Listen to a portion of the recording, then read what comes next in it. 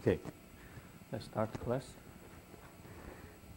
In previous class, we have thought about the problem when we think about the martensitic transformation. The problem to understand the martensitic transformation is that the habit plane, which is the interface between the martensite and austenite, is apparently it is an invariant plane, but its index is quite strange value, which is not the slip plane of the FCC. And the, in, the index of that habit plane do not have an integer. And the second one is the orientation relationship between the martensite and the austenite. And usually the orientation relationship has very close one, which is called the Kurdjumov-Sachs or Nishiyama-Wassermann. But the orientation relationship itself is not uh, exactly matches with that, which means that the orientation relationship is can be say can be said diffused. And the third one is that when you consider the velocity of the interface during the transformation, you can think that the velocity is sufficiently high to support the experimentally observed the kinetics of the martensitic transformation.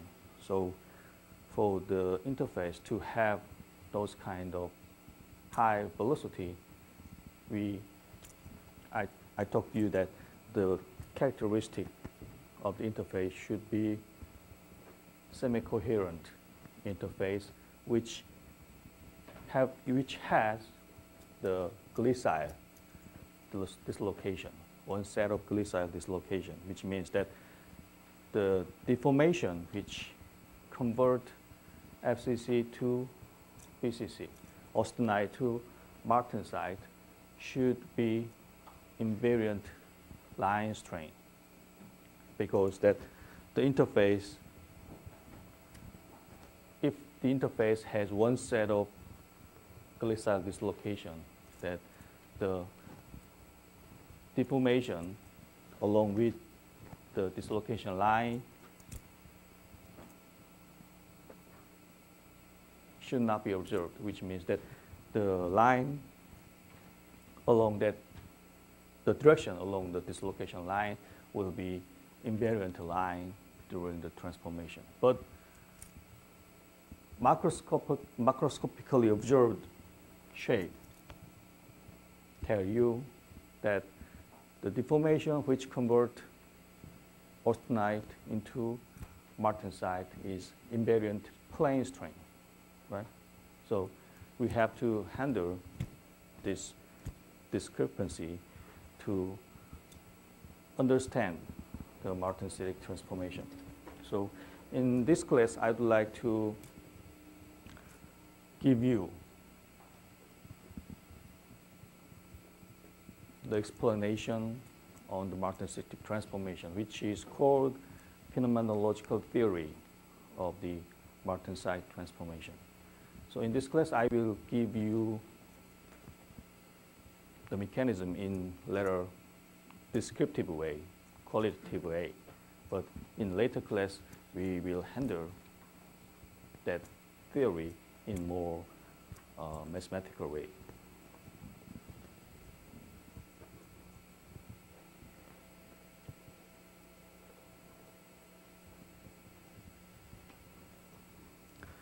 Let's start with thinking about how to change the FCC material into BCC structure. What kind of deformation will change this austenite into martensite. There are many ways to change, to deform the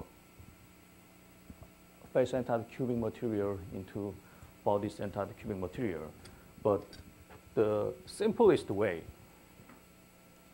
simplest means that minimization of the movement of the atom during the change of the crystal structures. The way minimize the atomic movement during the change, crystallographic change from FCC to BCC is called Bain deformation, as I talked to you in previous class. Here, this is our parent austenite. And as you know, this austenite has face-centered cubic structures. When you look at this unit cell here, even though this is unit cell of the face-centered cubic, when you look at the unit cell as this one, this is body-centered tetragonal. Tetragonal means that these two axes is the same length, but the third axis has different lengths. That, that is the meaning of the tetragonal. So this unit cell is body-centered tetragonal. So it will be easy to understand that when you want to convert body-centered tetragonal into body-centered cubic, you have to compress along this axis and you have to stretch the lattice along this direction. So here is the initial structure of the BCT, which belongs to the body-centered cubic structures. And this is deformed BCT, which now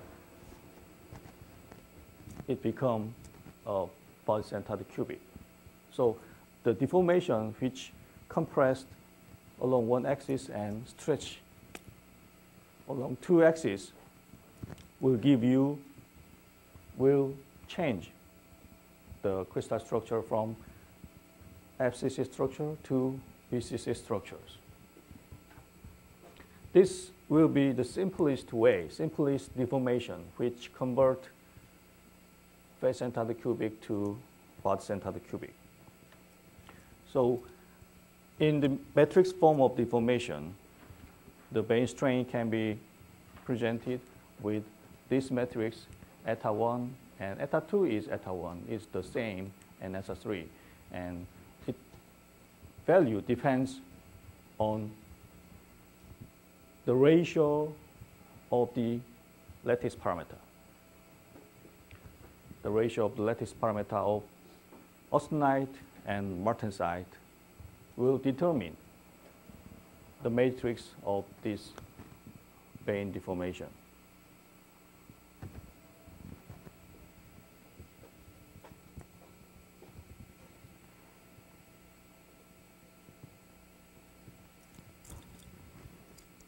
So, as I told you, the deformation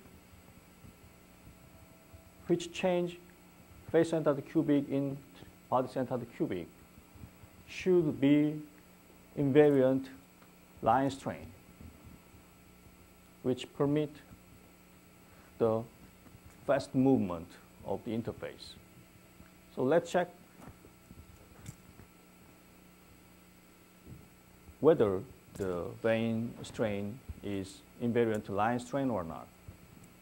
Here, let's assume our FCC, initial FCC has a sphere. Then when you apply Bain deformation to the, our initial FCC material, it changes the shape of sphere into skewed sphere, which means oblate. Right? So here, our initial FCC materials, and we apply the Bain strain, that sphere, that then it will stretch along these two axes and compress along the third axis. So the sphere will be skewed shape after the deformation, right? At first, we have a sphere, and we stretch that sphere along two directions and compress along the third direction. Then the sphere will have some oblate shape, right? So this is schematic diagram which shows the shape of the FCC material before and after application of the Bain strain.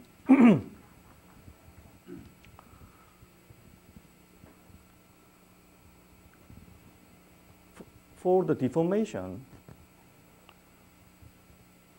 with invariant line strain, we have to find, we can we can find one line which is not affected by the deformation. So can you find any vectors which is not affected by the Bain strain? Here is our FCC materials.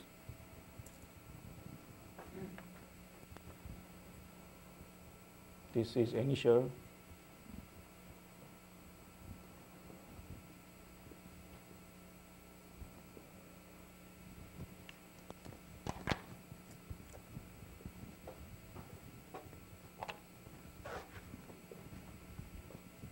value, and this is arbitrary vector A.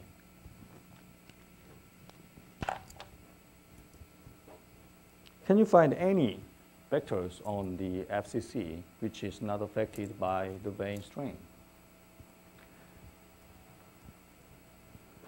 When we apply the Bain strain on this FCC material, all the vector will change there is no vectors which is not affected by the Bain strain.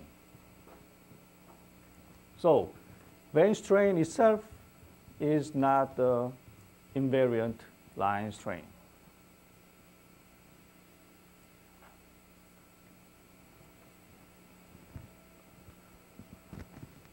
Right?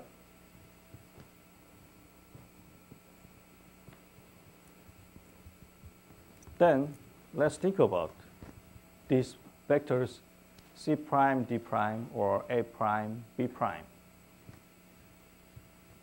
which is a vectors on the deformed on the deformed material, the vectors on the BCC. And let's assume that this AB or CD is the vectors which is original vectors of A prime D prime before the deformation. So let's assume that these vectors is deformed to these vectors by Bain strain. Then you can understand the length of these vectors is not changes, but its direction is changed by Bain deformation. Right?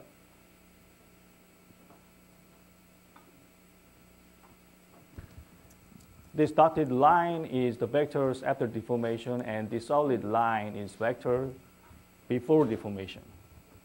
So when you compare the length the length itself is not affected by the deformation, but the vector is rotating.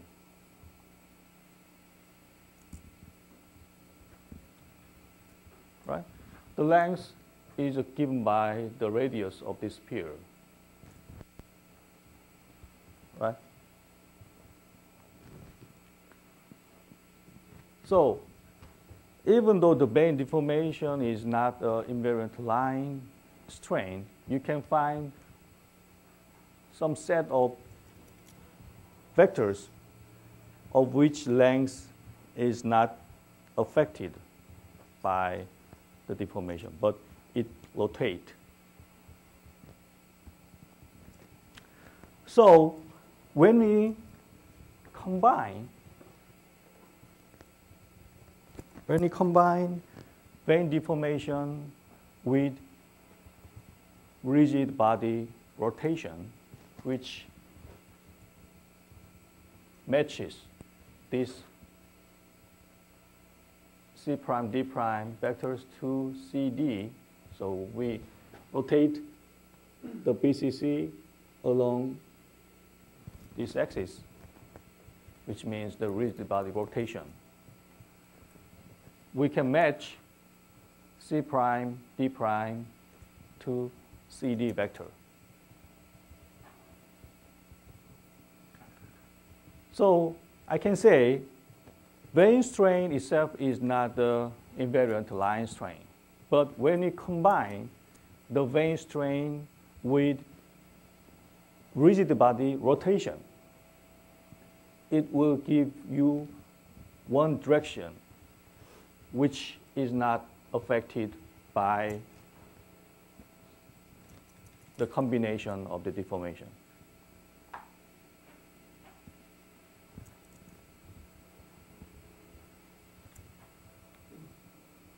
So the lattice transformation matrix, lattice transformation deformation, is the combination of uh, Bain strain and rigid body rotation. The Bain strain and rigid body rotation will change the FCC structures into BCC structures with one direction which is invariant line.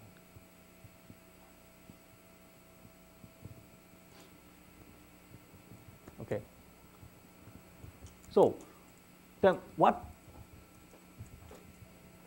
factor determine the rotation axis which matches the C prime D prime and CD vector? What is the most important factors which determine the rotation angle.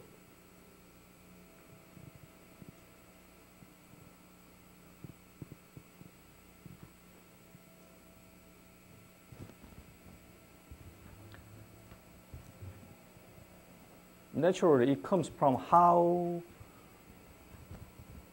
how much we compress and how much we stretch the lattice, right?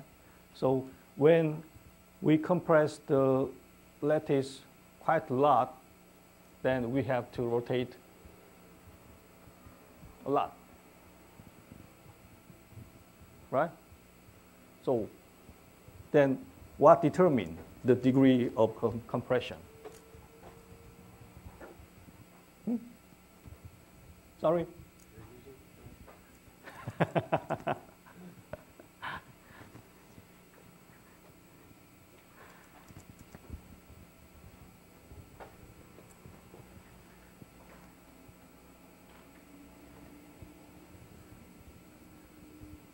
which determine the degree of compression, the ratio of the lattice parameter. So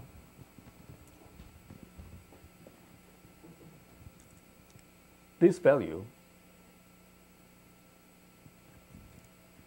will determine the degree of the rotation, right?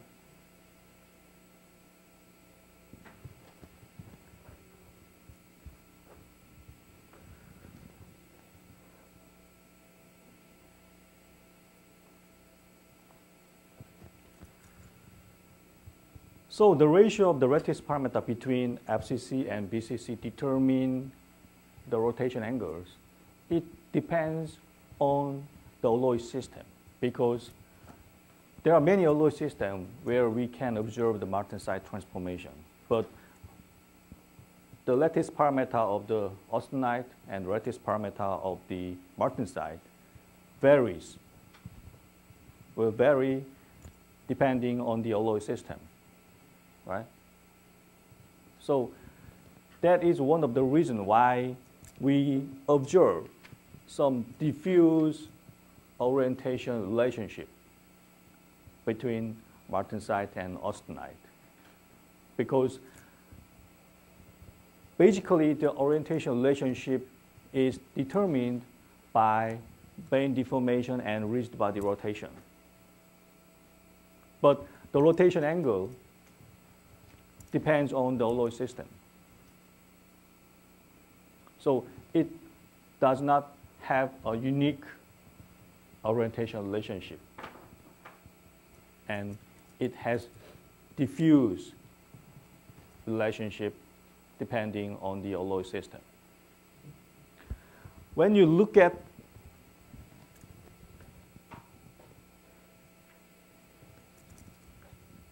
this BCT and the FCC unit cell, you can understand that the BCC structures and FCC, BCC unit cell and FCC unit cell has perfect orientation relationship, which is described by Kurdjumov-Sachs. But the Bain deformation and the rigid body rotation deviate the orientation relationship from strict orientation relationship. And the de degree of deviation depends on the ratio of the lattice parameter. And that's why we observe diffuse orientation relationship depending on the alloy system, right?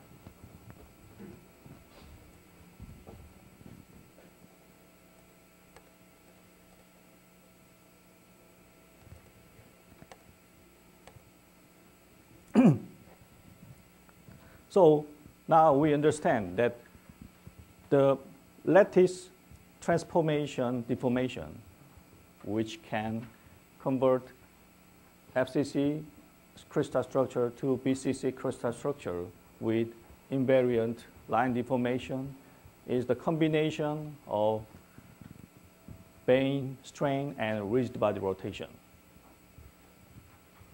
But still we have problem the combination of the Bain strain and rigid body rotation is invariant line strain. But the observed shape of the martensite is what?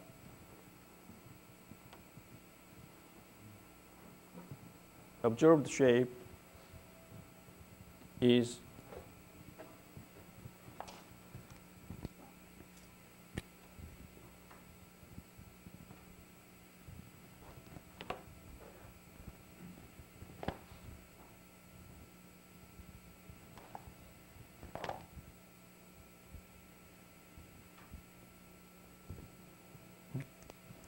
like this. Observed shape is invariant plane strain, which has a habit plane, right? So how can we handle this discrepancy? So this diagram not exactly describe the transformation, but it will be very helpful to understand. When we applied the Bain strain and rigid body rotation, we can convert austenite into the martensite with invariant line strain. Here, let's see, the invariant line is the line along this perpendicular direction to the screen. Definitely can convert FCC to BCC. But observed shape. You can, what you observe when you look at the martensite, this is the observed shape, invariant plane strain. Here, the invariant plane is plane along this.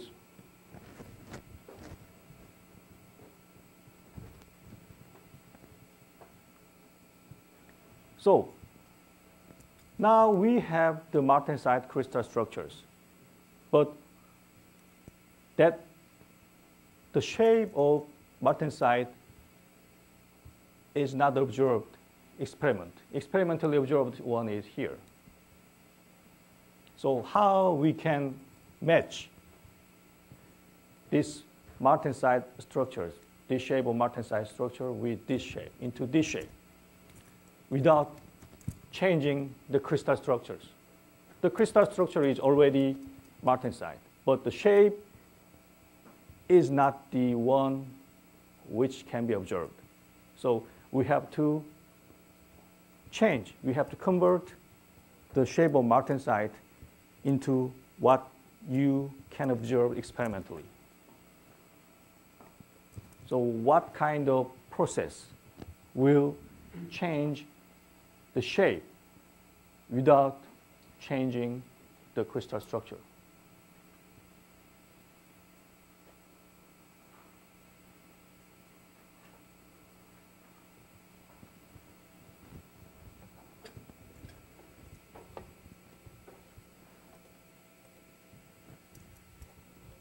there are two kind of there, there will be two kind of process which can change the shape of the crystal without altering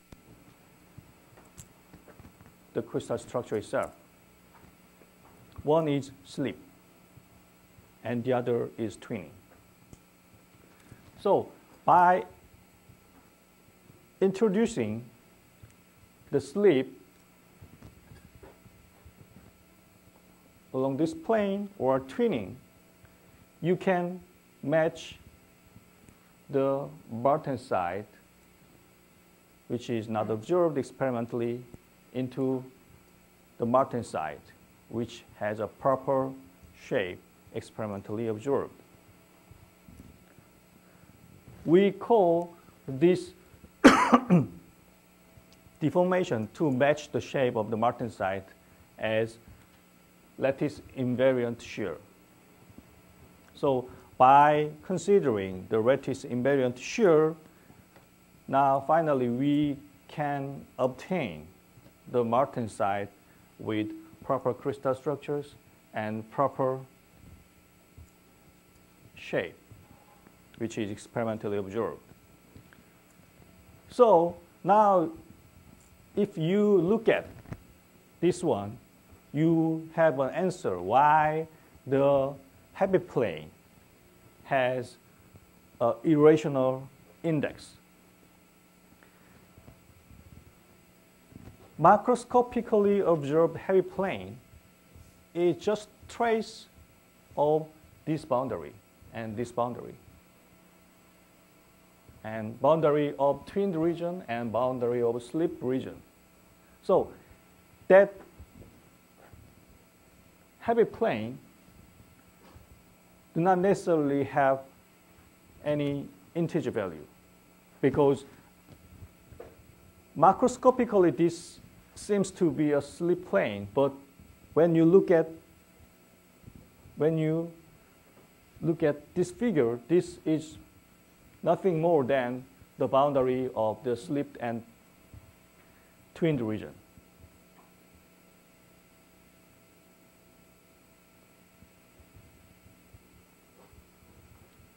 So by this way, the theory of the martensite transformation will give you all the answer which raised in the previous class. The habit plane, the problem of habit plane, the problem of the orientation relationship, and the lattice, uh, the invariant line strain and invariant plane strain the lattice, uh, the lattice transformation strain should be invariant line, but observed one is invariant plane strain. So this diagram will give you the answer on the difficulty to understand the Martensite transformation.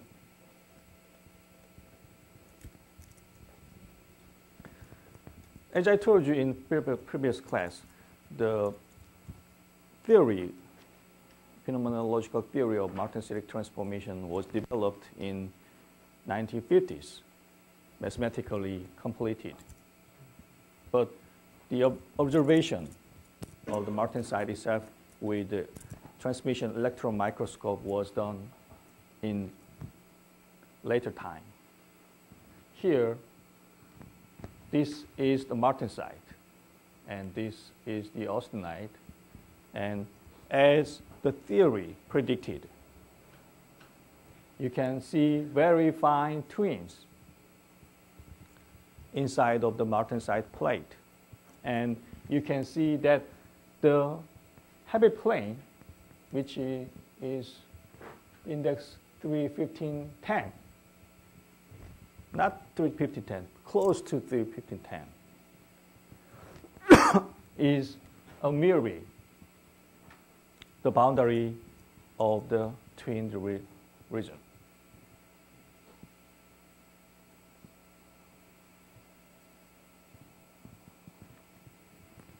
Okay?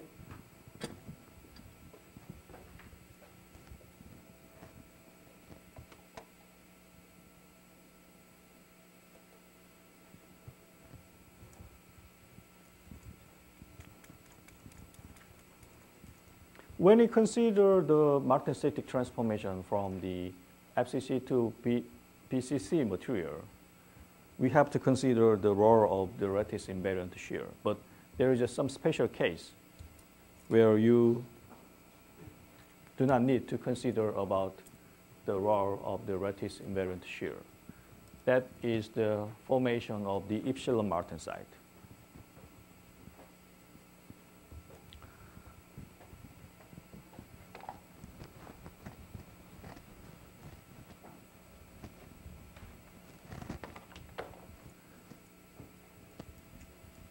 As you know, the epsilon martensite and face center uh, epsilon, uh, epsilon martensite has HCP structures, and the austenite has FCC structures.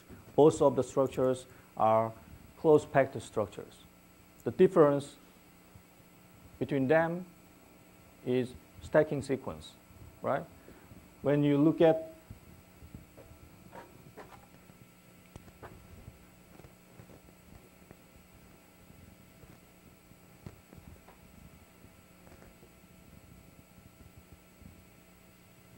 face enter the cubic and stacking sequence along one on one direction will be ABC, ABC. Right? There is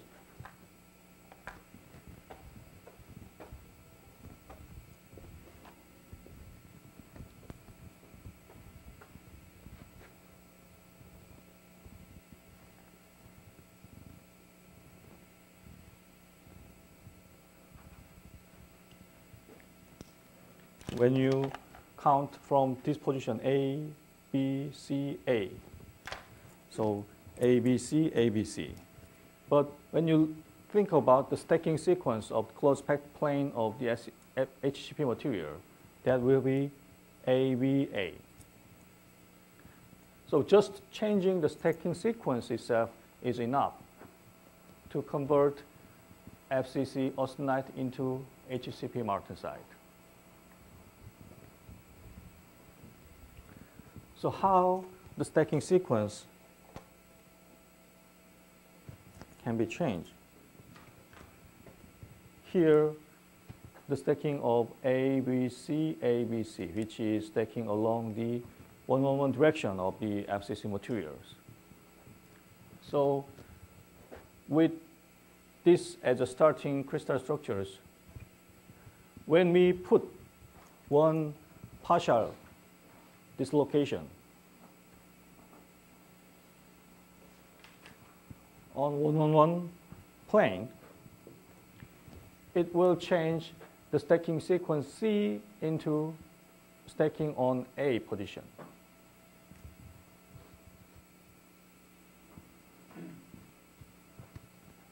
Right?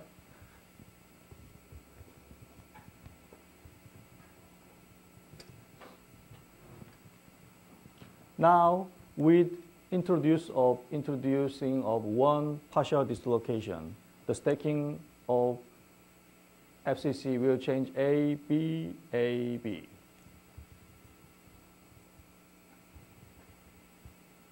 Right?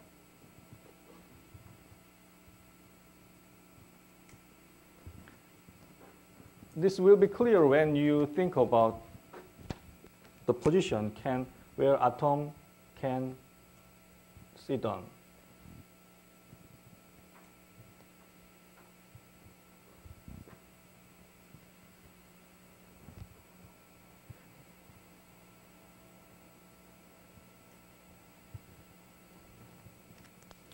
This, this is one on one layer of the FCC. And the second choice, the choice of the atom on the second layer can be this position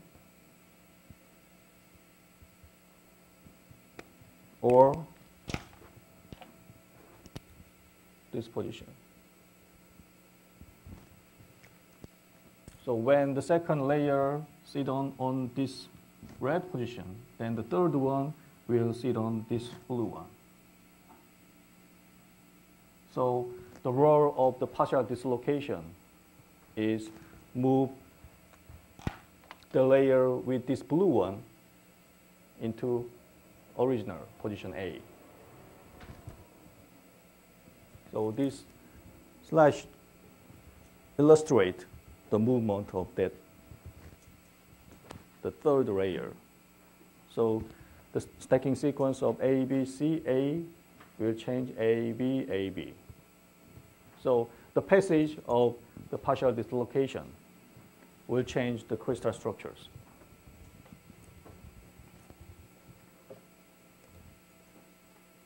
Like this one. Here, this part is the our parent austenite.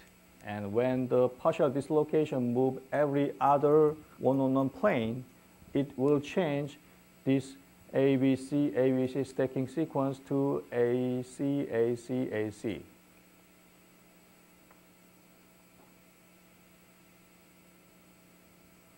And this interface, this line will give you macroscopic interface between the austenite and the epsilon martensite.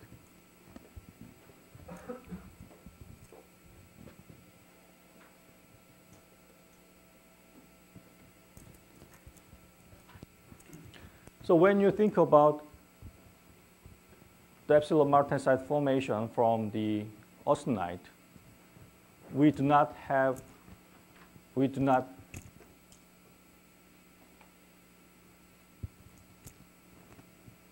it is not necessary to think about the role of lattice invariant shear because the observed invariant plane is a slip plane.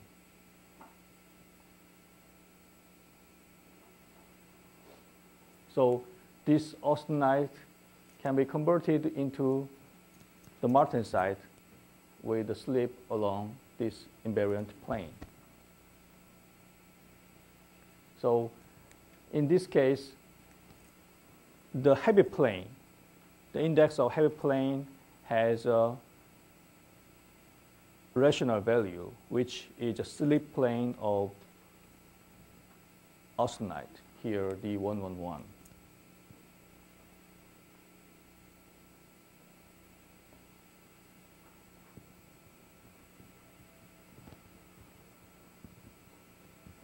Okay? When you think about the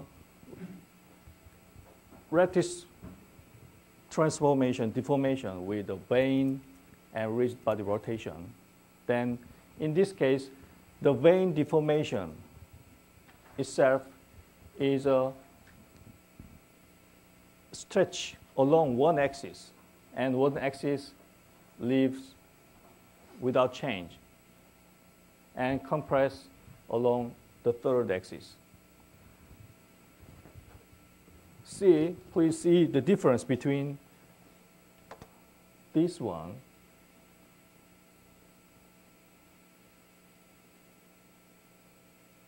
with this one.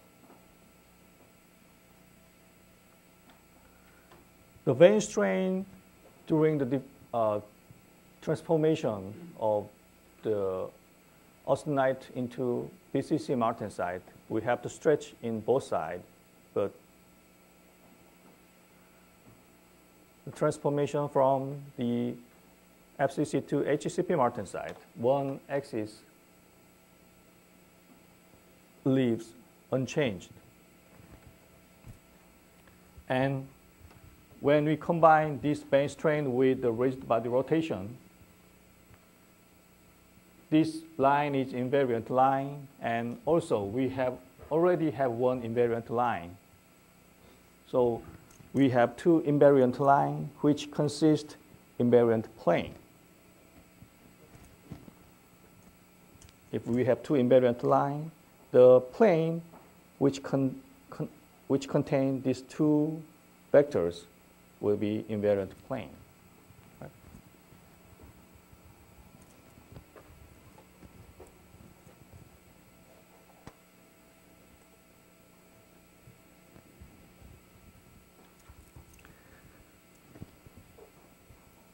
People think that the transformation from the austenite to HCP martensite both of the crystal structures is close packed one. So people are likely to think of that there is no density change. But actually that is not the case. Here is the dilatation curve of these two alloy systems. One is 0.1 carbon and 11 manganese, and 1 point carbon, 1.1, uh, 0.1 carbon, and 13 mangan. Here, when we heat up the specimen into the austenite, transform, uh, austenite temperatures and cool down, cool down. Here is the cooling curve. And some characteristic change occurs at these temperatures. One line increase and one line slightly decrease.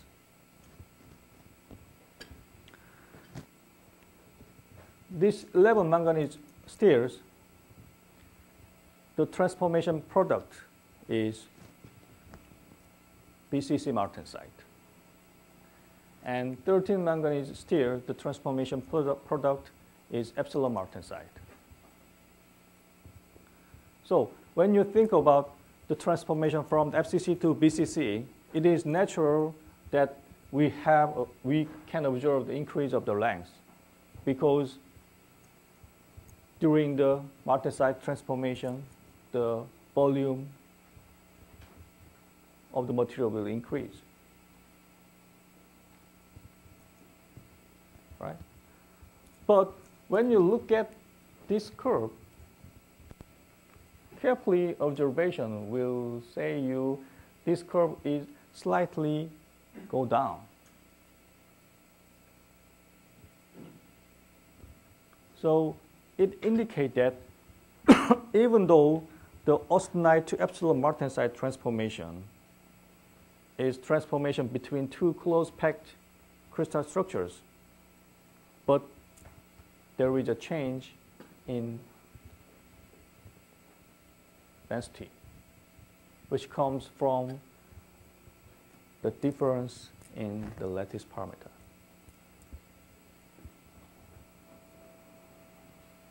So you have to remember, even though epsilon martensite formation from the austenite, both of crystal structure is cross-packed one, but there is a volume change. Even though the volume change is quite small compared to the FCC2 BCC Martensite transformation.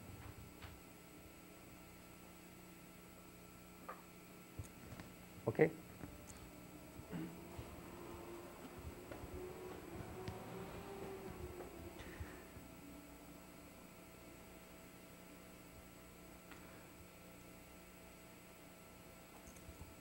Using this character, we can distinguish the stacking fault and epsilon martensite in the transmission electron microscope. When we observe the stacking fault,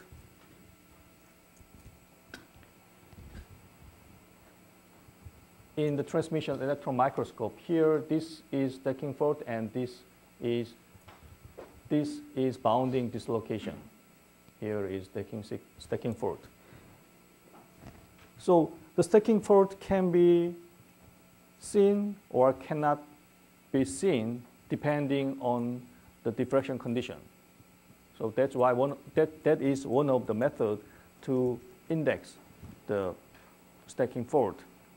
So when we use this diffraction beam, you can observe this stacking fault. And when you look, uh, observe the microstructure with this, this, this diffraction beam, this stacking fault cannot be seen. But when we observed the epsilon martensite, which has very similar structures with the stacking fault, then even in the condition where the epsilon martensite cannot be seen, there is slight, slightly different image appear. This image come from the difference in the volume. So that is one of the methods to distinguish the stacking fault and the epsilon martensite in the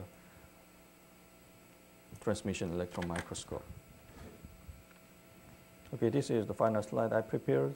Any question?